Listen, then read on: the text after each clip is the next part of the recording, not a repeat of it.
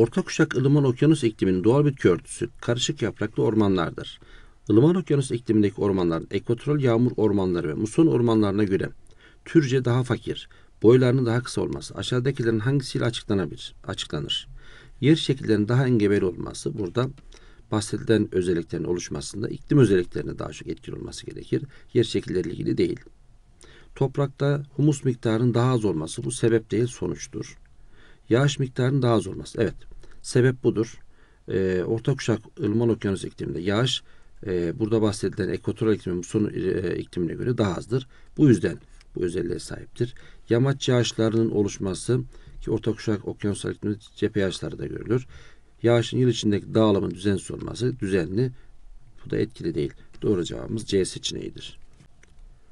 Ot formasyonları, iklim, toprak ve yer şekilleri gibi koşulların e, ağaç yetişmesini engellediği yerlerde gelişme imkanı bulmuşlardır. Buna göre ot formasyonları arasında aşağıdakilerden hangisi gösterilemez? Bozkır ot formasyonudur. Savan ot formasyonudur. Garik çalı formasyonudur. Makinin e, tahrip edildiği yerlerde e, ortaya çıkar, yetişir. Çayır ot formasyonudur. Tundra ot formasyonudur. Yani otlardan oluşur. Burada otlardan oluşmayan gariklerdir. O da çalı formasyonudur. Doğru cevabımız C seçeneğidir. Aşağıdaki haritada bazı alanlar numaralandırılarak koyu renkte gösterilmiştir. Bu alanlardan hangilerinin doğal bitki örtüsü ağaç formasyonu bölgesinde yer almaz? Evet, haritamızı incelediğimiz zaman bir iğne yapraklı ağaçlar görülür. İki, e, çöl bölgesi olduğundan dolayı ot formasyonları görülür. Üç, muson bölgesi olduğu için ağaç formasyonu görülür. Dört, çalı e, formasyonları görülür. Akdeniz iklim özelliği görüldüğü için. Beş ise tundra bölgesi olduğundan dolayı burada e, ot formasyonu görülür. Doğal bitki örtüsü ağaç formasyonu bölgesinde yer almaz demiş bu alanlardan hangileri. Baktığımız zaman bir alır, üç alır, e, 2, 4, 5 almaz. 2, 4, 5 doğru cevabımız D seçeneğidir. Karadeniz bölgesinde denizden yükseklere çıkıldıkça sırasıyla geniş yapraklı ormanlar, karışık yapraklı ormanlar, iğne yapraklı ormanlar ve dağ çayları görülür. Buna göre yükseldikçe bitki örtüsünün değişmesi aşağıdakilerden hangisinin değişmesiyle açıklanabilir? Karadeniz bölgesinde yamaçtan yukarı doğru yükseldikçe en aşağıda geniş yapraklı orman, daha sonra karışık orman, iğne yapraklı orman ve dağ çayırları görülür. Burada e, bu şekilde kuşaklar oluşturmasının sebebi e, hangisiyle açıklanabilir demiş. Buradaki e, sebep yükseltinin yükseltinin artmasına bağlı olarak sıcaklığın azalmasıdır. Doğru cevabımız baktığımız zaman sıcaklık B seçeneğidir. Ekvatoral iklimin doğal bitki örtüsü yağmur ormanlarıdır. Güney ve Güneydoğu Asya'da muson iklimi görülen alanların bitki ise muson ormanlarıdır. Muson ormanlarının ekvatoral yağmur ormanlarından farkları arasında ifadelerinden hangileri söylenebilir? 1. Kışın yapraklarını döken ağaçlardan oluşmaları. Evet bu söylenebilir. Muson e, ormanında e, ormanlarında e, ağaçlar kışın yapraklarını döker. Yağış azaldığından dolayı. Türce daha zengin olmaları bu yanlış. Ekvatoral bölgede daha zengindir. Toprakların kireç ve tuz bakımından zengin olması bu da yanlış. Zengin değil. Evet hangileri söylenebilir? Yalnız bir. Doğru cevabımız A seçeneğidir. Soğuk iklimlerin yaşandığı alanlarda yağmur ormanlarının görülmesi beklenmez. Ancak sıcak kuşakta soğuk iklim kuşağına ait olan iğne yapraklı ormanlar, karma ormanlar ve dağ çayırlarına rastlanır. Buna göre sıcak kuşakta soğuk kuşağa ait bitkilerin görülmesinde aşağıdakilerin hangisinin etkili olduğu söylenebilir. Evet, e, soğuk kuşakta sıcak kuşağa ait bitkiler görülmez. Ancak sıcak kuşakta soğuk kuşağa ait bitkiler görülür. Neden? Çünkü yükseltinin etkisinden dolayı. Yükseklere çıkıldıkça geniş yapraklı orman, karışık orman, iğne yapraklı orman, dağ çayları şeklinde sıralandığından dolayı evet e, soğuk kuşakta görülen bitki türleri sıcak kuşakta görülebilir. Sebep yükseldikçe sıcaklığın azalmasıdır. Yani doğru cevabımız E seçeneğidir. Kışların çok soğuk ve toprağın donmuş halde olduğu tundra iklim bölgesinde görülen soğuğa dayanıklı otsu bitki topluluğuna tundra denir.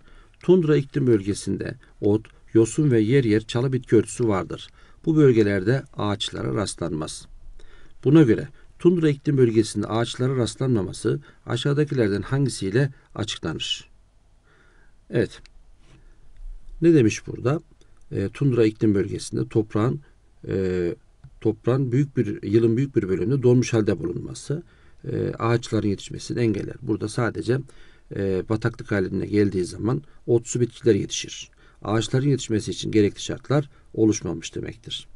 Evet, sıcaklığın düşük olması burada etkili. Yer şekillerinin engebeli olması tundra için geçerli değil. Yağış miktarının az olması e, toprak oluşumu olmadığından dolayı burada en çok etkilidir. Toprağın verimliliği ile ilgili değil, sıcaklığın düşük olması ile ilgilidir. Doğru cevabımız E seçeneğidir. Aşağıda Türkiye'nin bazı yörelerindeki bitki türleri verilmiştir. Buna göre verilen bitkilerin ortak özelliği aşağıdakilerden hangisidir? Rize'de Anzer Yaylası'nda e, Anzer çayı, Safranbolu çevresinde safran otu, Köyceğiz Gölü çevresinde sığla günlük ağacı, Erzurum'da ters lale, Kastamonu ve Yozgat çevresinde ispir meşesi. Bunların ortak özelliği endemik bitki olmalarıdır. Yani sadece bu bölgelerde yetişen bitki türlerinden olmalıdır, olmalarıdır. Relikt, iğne yapraklı, yaz kuraklığına dayanıklı, endemik bitki olmaları kozmopolit. Doğru cevabımız D seçeneğidir. Endemik bitki olmaları.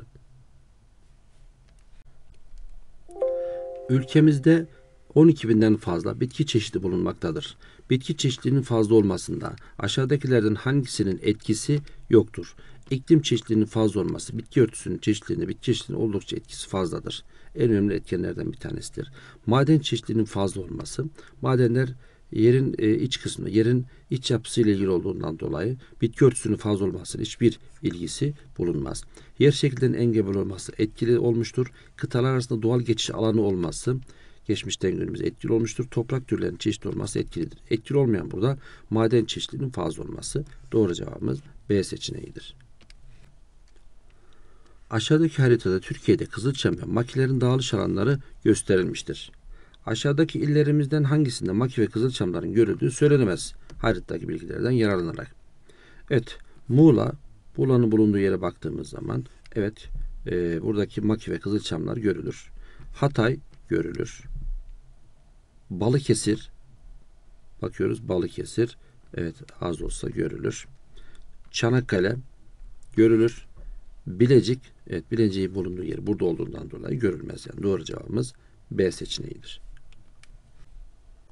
Aşağıdakilerden hangisi ormanlardan elde edilen yan ürünler arasında yer almaz? Ormanlardan, ağaçlardan elde edilecek. Ihlamur ağaçlardan elde edilir, yan ürünlerdendir. Defne yaprağı ağaçlardan elde edilir. Tomruk ağaçlardan, reçine ağaçlardan elde edilir, yan ürünlerdendir.